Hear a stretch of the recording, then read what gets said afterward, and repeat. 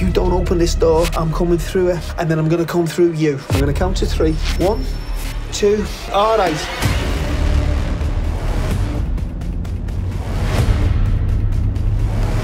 The job has ruined me. There's blood on me boots, and it never stops. It's such important work. You need to focus on the good that you do. Get back! Can you just to sort yourself out, mate. I'm all right. You said that last time. Rachel Hargreaves. She's partnered with Carson for the rest of the week. God help her. I can't remember the last time I did something good. Chris. Why is he so angry with you? Because I robbed his cocaine. Just pay him back then. No, I robbed all his cocaine. Right. How much? Like that. Oh.